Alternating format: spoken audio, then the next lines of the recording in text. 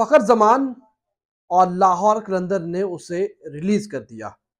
अ, शायद सोचना भी अ, जो है वो थोड़ा-सा मुश्किल है लेकिन लाहौर कलंदर ने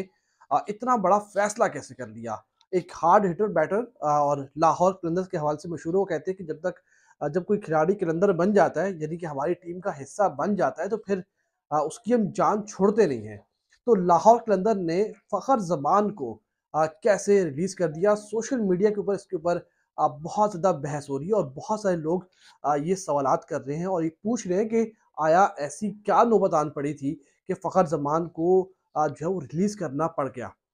यकीन तौर पर ये एक बड़ा डिसीज़न था और बहुत बड़ा डिसीज़न है कि फ़खर ज़मान जैसे प्लेयर को आप रिलीज़ करें और उसको ड्राफ्ट में जो है वो भेज दें। लेकिन उसके साथ-साथ अच्छी खबर ये भी है कि जो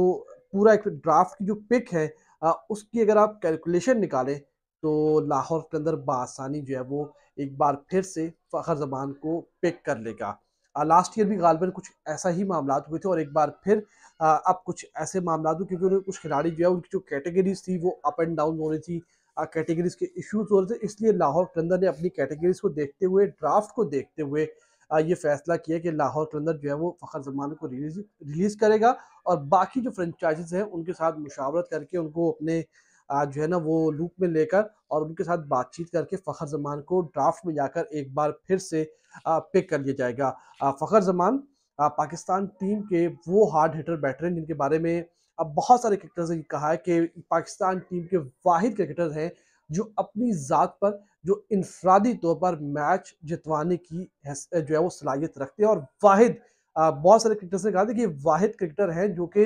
अपनी सलाहियतों के ऊपर मैच विनर हैं और फ़खर ज़मान के हवाले से ये बात की गई थी और फ़खर ज़मान ने पी में हमें दिखाया है और ख़ासकर अभी हालिया आपको याद होगा जब 400 सौ का टारगेट मिला न्यूज़ीलैंड के खिलाफ ओडीआई वर्ल्ड कप में तो वहाँ फ़खर ज़मान ही खड़ा था। तो फ़खर ज़मान इतना बड़ा प्लेयर है, लाहौर के अंदर उसे जाने नहीं देगा। आपको सोशल मीडिया वाले जो फैंस हैं, ये जो हमारे जो खिलाड़ी के फैंस हैं, ये जो फिर ओवरऑल क्रिकेट पूरे पाकिस्तान में फ़ॉलो करते हैं, पाकिस्तान क्रिकेट से मुतलिक जानना चाहते हैं और ख़ासकर लाहौर कलंदर से मुतलिक जानना चाहते हैं, तो उनको हम बताते चलें कि ऐसा कुछ भी नहीं है। फ़खर ज़मान लाहौर कलंदर्स में रहेंगे। लाहौर कलंदर्स से वो खिलाड़ी हैं, रिलीज़ कर दिया है, लेकिन वो ड्राफ्ट में जा रहे हैं और ड्राफ्ट में मुमकिना तौर पर उन्हें एक बार फिर से लाहौर कलंदर्स जो है वो पिक कर लेगा और वो एक बार फिर लाहौर कलंदर्स के स्क्वाड का हिस्सा होंगे। लाहौर कलंदर्स की अगर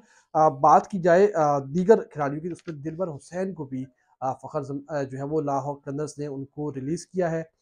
अ, उनका रिलीज़ होना बनता भी चले वो अगर ड्राफ्ट में जाए तो हो सकता है कि दोबारा उनको लाहौर कलंदर जो है पिक कर ले या फिर कोई और फ्रेंचाइज़ जो है वो उनको अ, पिक कर ले तो इतना बड़ा इशू नहीं। लेकिन असल इशू था फ़खर ज़मान का कि फ़खर ज़मान का क्या होगा? तो हम आपको ये बता दें कि फ़खर ज़मान एक बार फिर से लाहौर कलंदर का हिस्सा बनेंगे। रिलीज़ हो चुके हैं, लेकिन वो अभी तक आउट नहीं हुए, बाहर नहीं है। आप वो मुमकिन तौर पर लाहौर कलंदर के स्क्वाड का ही हिस्सा बनेंगे और उस उनकी टीम के साथ ही मौजूद रहेंगे।